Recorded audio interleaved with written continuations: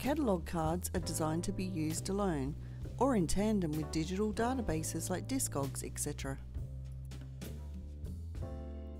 While a digital database is useful, it isn't always accessible to the people you may share your collection with and doesn't allow for easy documentation of personal memory. Our catalogue cards are visual reminders to help your collection be more personal, immediate, and engaging for a deeper enjoyment of your full music experience.